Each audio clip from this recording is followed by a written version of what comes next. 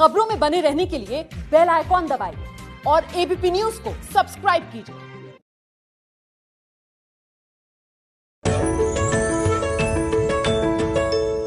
सिंह राशि, ये दिन आपके लिए बेहतर है। मेहनत करें, आगे बढ़ने के अवसर आपको प्राप्त होंगे। प्रतिष्ठा भी बढ़ती नज़र आ रही है। बस एक छोटी सी सावधानी ज़रूर बरतनी है इस दिन।